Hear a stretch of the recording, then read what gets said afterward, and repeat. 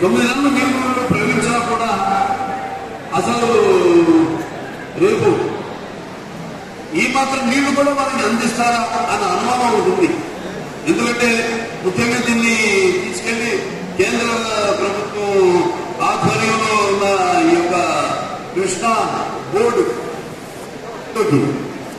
ఈ యొక్క ప్రాజెక్టులను తీసుకొచ్చి మరి రేపు నీళ్ళ కేటాయింపులో మరి విదేశ్ ట్రిబ్యునల్ ఎటువంటి తీర్పు తీసుకొస్తుందో మనకు తెలియదు మరి మనకి కృష్ణా మనకు వస్తున్న కృష్ణా నది ఏదైతే రెండు వందల యాభై ఎనిమిది టీఎంసీ నీళ్ళు ఉన్నాయో మరి అవి మా అక్కడ పైన మహారాష్ట్ర అటు కర్ణాటక వాళ్ళు ఆపుకుంటారు. ఆ తర్వాత మన పరిస్థితి ఏంటో మనం ఆలోచించుకోవాలి. అంటే అసలు ఈ హండ్రీవా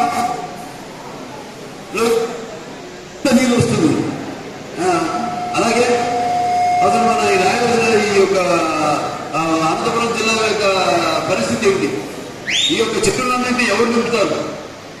అంటే ఇందులో మనకు తెలిసిందంటేనే మా మాదయాన తర్వాత మంచు మరి మర్రి ఏదైతే శ్రీశైలం దగ్గర ఉన్నాయో మనకి ఈ లిఫ్ట్ ఇరిగేషన్స్ మరి అది మనం చూస్తే అప్పుడు ఆనాడు నీళ్ళను ఎత్తిపత్ర పథకం కింద అటు మళ్ళించి ఏదైతే వృధాగా మూడు వేల టీఎంసీ నీళ్ళు సముద్రంలో కలుస్తుందో ఆ నీళ్ళను ఇటు రాయలసీమ ప్రా- ప్రాంతానికి అంటే కర్నూలు జిల్లా కానివ్వండి కడప జిల్లా కానివ్వండి అనంతపురం అలాగే చిత్తూరు జిల్లా కానివ్వండి వీటన్నిటికీ నీళ్ళు అందించే బాధ్యతను తీసుకున్న ఆనాడు మన తెలుగుదేశం ప్రభుత్వం. ఇవాళ మరి దాన్ని మొత్తం ఎనభై వేల ఆనాడు రాజకీయ నలభై వేల టీఎంసీ అన్నారు.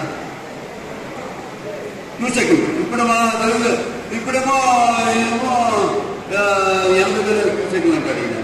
అది కూడా అప్పుడు చంద్రబాబు నాయుడు గారు ముఖ్యమంత్రిగా ఉన్నప్పుడు ఎనిమిది వందల పదహారు. ఆ అడుగుల దాన్ని లిఫ్ట్ చేసి ఆ, స్కీమ్ పెడితే ఇప్పుడు ఈయన ఎనిమిది వందల నుంచే దాన్ని లిఫ్ట్ చేస్తానంటారు అంటే అసలు అంటే దీనివల్ల ఏం లేదు. కులాలకి మతాలకి ప్రాంతాలకి చిచ్చుపెట్టడం అలాగే ఉన్న రాష్ట్రాల వ్యవస్థలన్నింటినీ నిర్వీర్యం చేయడమే లక్ష్యంగా పెట్టుకున్నారు చెప్పితే దీనికి నీళ్ళు ఈ ప్రభుత్వానికి నీళ్ళు ఇవ్వాలని కూడా సంకల్పం లేదు. నీళ్ళు ఇవ్వాలి ఎలా ఇవ్వాలన్న ఆలోచన కూడా లేదు. ఎవరితో సంప్రదించాలి ఎవరితో పెద్దలతో?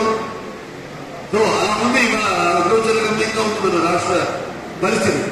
ముఖ్యంగా నేను కోరుకునేది అంటే గత పాఠశాల గారు ఇప్పుడు చెప్పారు తెలంగాణ జూరాల ప్రాజెక్టు. మన దాన్ని వాళ్ళు ముందుకు ఆ,